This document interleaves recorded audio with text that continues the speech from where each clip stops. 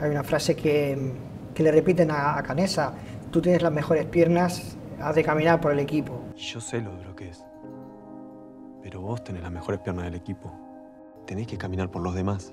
Y creo que era interesante que ese viaje lo hiciera también el público, que viviera la película a través de unos personajes y esos personajes después le dieran la posibilidad que siguieran el relato eh, otros personajes. ¿no? Entonces se, se vivía un- una bonita simbiosis, una metáfora bonita a través del punto de vista.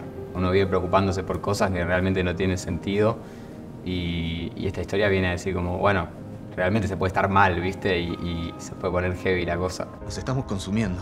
Siete días y siete noches sin comer. Nada. Si no comemos nos vamos a morir. y la resiliencia que tiene esta historia en, ese- en- en el fondo, eh, cómo, cómo te inspira a quizás no quejarte tanto por las mínimas cosas que tenés que atravesar día a día viviendo en sociedad. Y como en, el- en un contexto donde lo perdés todo, surge el amor como un motor de vida que te impulsa y te hace salir de cualquier situación posible e inimaginable a través del amor a los amigos, el vínculo con la naturaleza, con el entorno, con, con las ganas de volver con la familia.